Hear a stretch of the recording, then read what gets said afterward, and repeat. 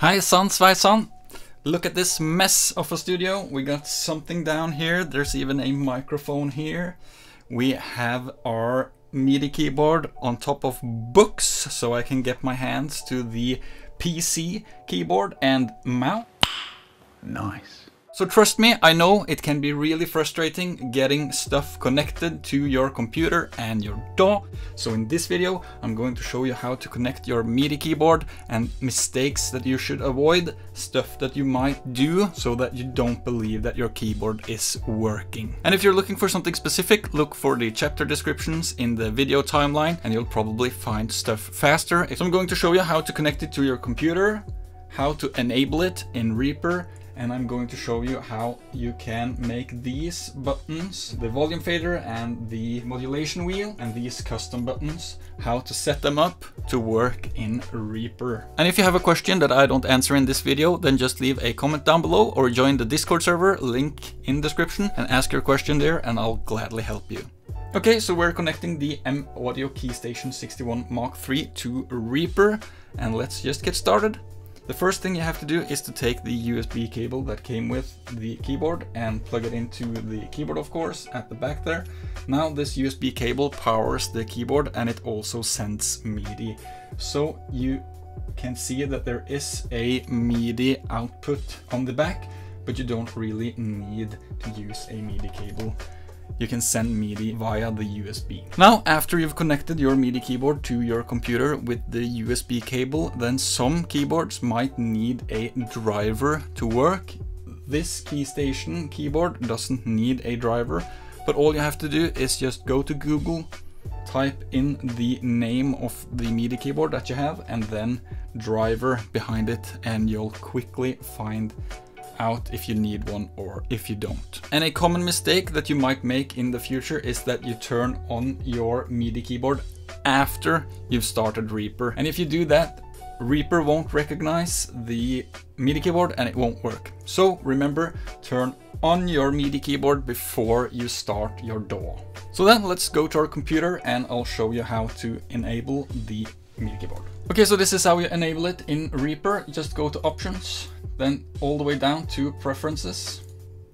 And then under audio, you'll see MIDI devices. Click that and then you'll find it here. Now, some MIDI devices like the one I have here, MPD218, which is a drum pad kind of thing, only has one thing that you have to enable, but if you look at this one, KeyStation 61 Mark III, you'll find it here and also here. Some devices have two things that you have to enable.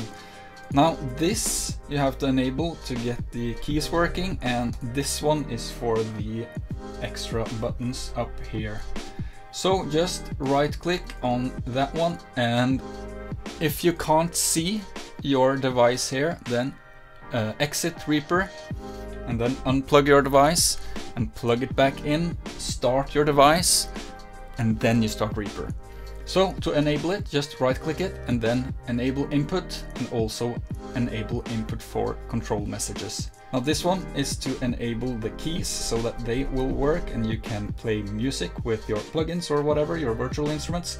And the enable input for control messages is so that you can use the volume fader, the modulation wheel, and on this one it's for these buttons. So just enable input and enable input for control messages there. Okay, so when you enabled both of these or however many there are for your keyboard, then just click apply and then click OK. And then we can create a track with a virtual instrument. Here, insert virtual instrument on new track. And let's just use this labs. And then we can play. So it should be working now, and if it doesn't, well then have a look at your plugin and you might find something that says MIDI channel. This is set to any and let's put this to 1.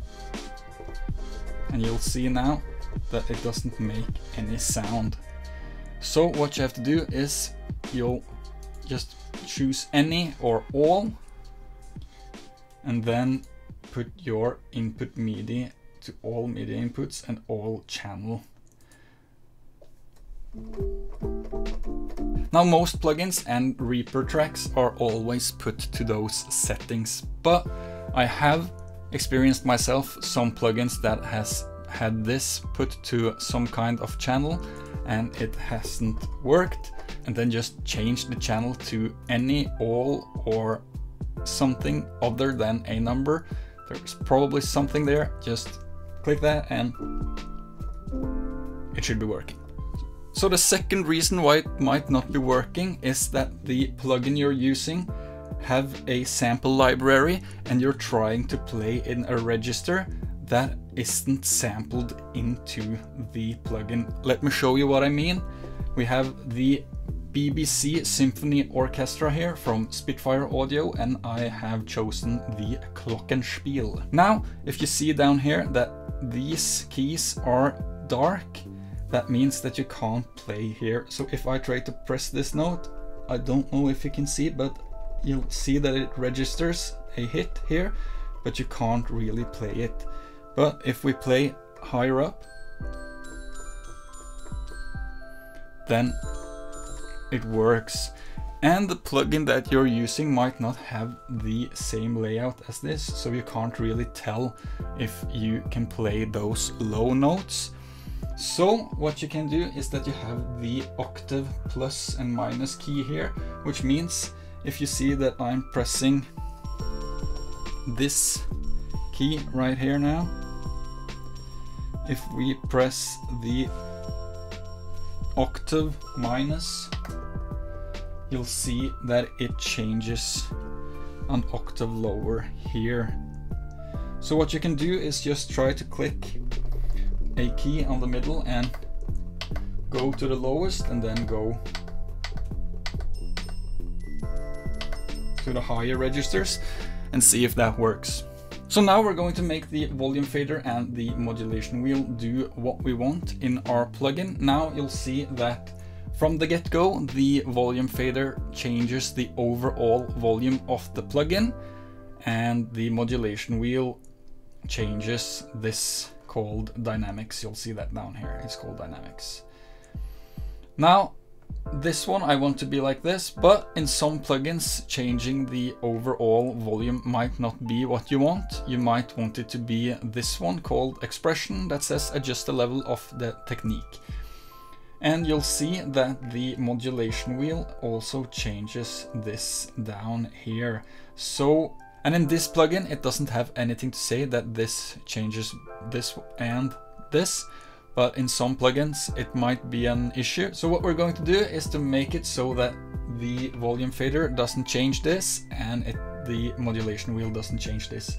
So what you have to do then is you have to click the input FX here and I have it under MIDI note filter here. So this MIDI note filter just search for that plugin under all plugins and you'll find it. Then click this and then put that to zero and that to max and then just exit.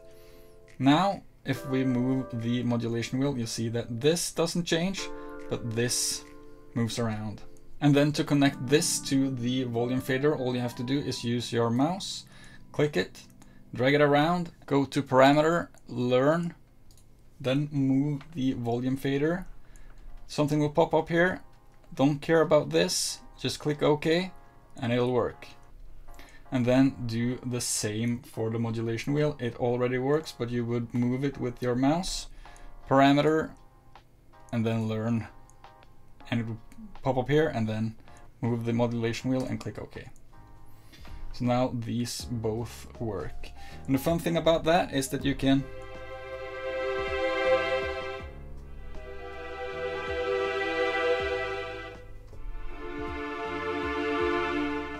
add some dynamics to your playing. Now I've already set up my custom keys to do the things that I want, but I'll show you how it works.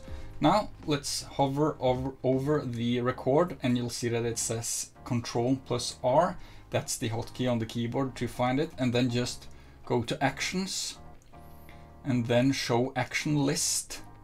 And in the filter, you can search for your hotkeys.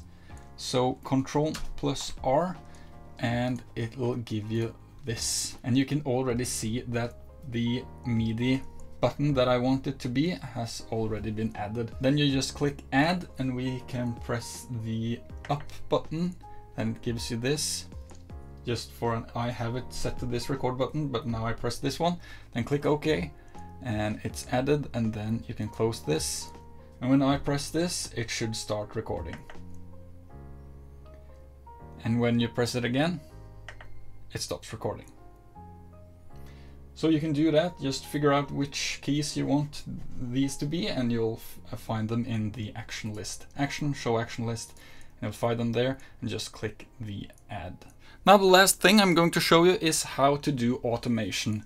Now we have set up our volume fader and modulation wheel to do what we want in our plugin, so let's make some automation.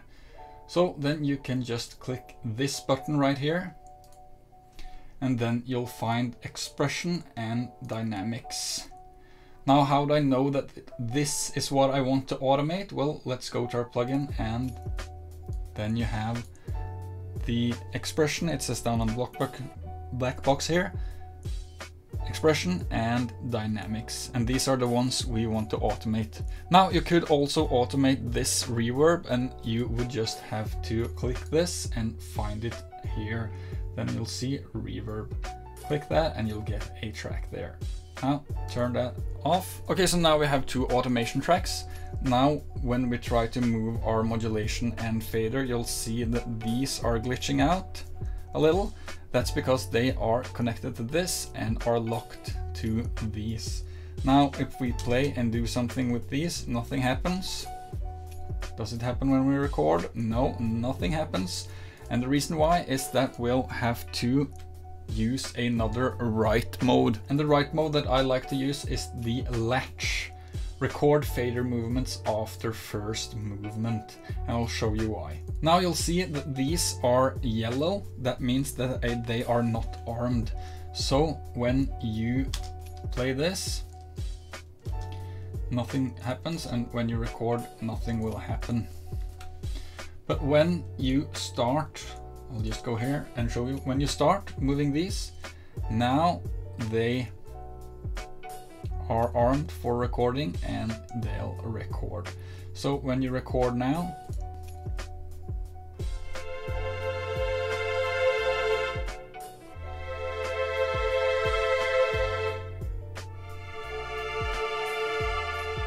then you stop. Now they are yellow again and they won't record. Some of the other write modes will just override what you've now done, but when these are yellow in the latch mode, then you can play back. And the automation, you'll see it here, moves by itself. But if I now start to move these again, then they'll start to record. And when you stop, they become yellow and you can listen back to it without it overriding. In some of the write modes, it would be as if you started playing, then it would record like this.